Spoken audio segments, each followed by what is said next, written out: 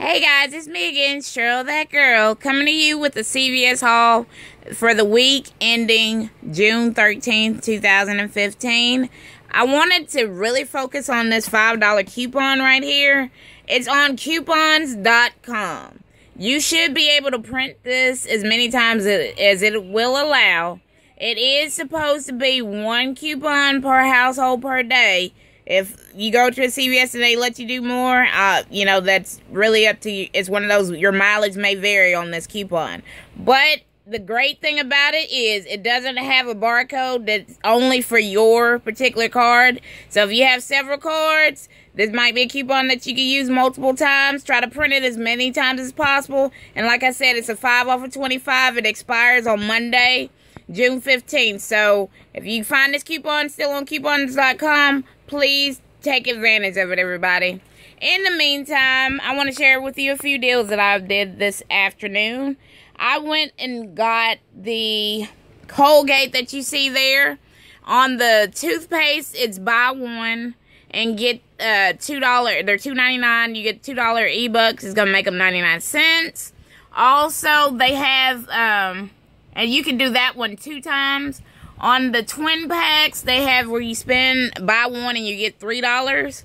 So basically, I also had a three dollar off for ten um, toothpaste, toothbrush, mouthwash coupon that I use with that, and I also had some dollar off of the Max Fresh dollar a piece coupons off the Max Fresh that were printables, and some of you might have those.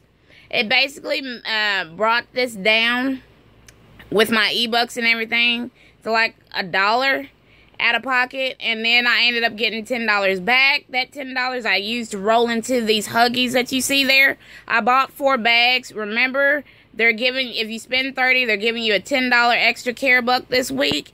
Also, they're also buy one get one half. If you have any of those coupons like 3 off of 15 off diapers or four off of 20 or anything like that, it's going to make it an even better deal. I don't have any more of the $3 coupons that I used that were printables. If you guys have any of those, please use them.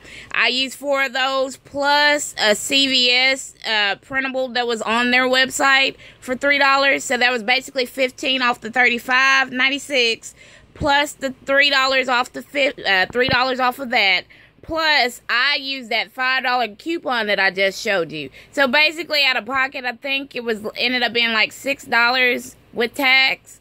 It was a little over 6 something with tax, which made it an awesome deal, everyone. Okay, so that $10 e-buck is what I rolled into my 30 to get my cash card today. On my 30, I got the two packs of all, um, basically pods, mighty packs they're two ninety nine a piece this week. Also got four bottles of that Right Guard body wash that you see right there. I had a three off of eleven body wash coupon that I used, and I also used two of those two off of two body wash coupons that we received a few weeks back. I also bought the Dry Idea, which is uh, two for six. It's also on the buy. It's also on the spend thirty and get the ten dollar cash card. I had that two dollar coupon off of two, and I also had a deodorant coupon that was thirty percent off. That took another two dollars off, which was made it an excellent deal.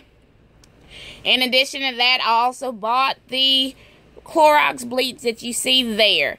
And so that's two for four this week. If you have that dollar off of uh, two coupon, it's going to bring the cost down even more. And that's it as far as CVS. Basically, out of pocket for my uh, third transaction, which is the 30, so I could get the 10. I spent like $7 after coupons, and that includes the tax. Of course, you know, they don't just, well, they don't just it where I am. Oh, and I forgot to mention also on the 30, I bought two more of those automatic um, Air Wicks automatic spray kits. I had that $2 off of each one coupon, and then I also had a $1.50 off of $5 coupon that CVS gave me. Um, so, like I said, total, I guess I spent almost $20 for like a hundred and something dollars worth of stuff today, which makes it an awesome deal.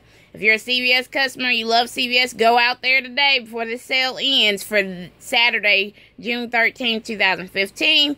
Also, I just wanted to mention I was able to get the um, Oxy. I went back in um, Kroger again because you know they had to buy five, save five.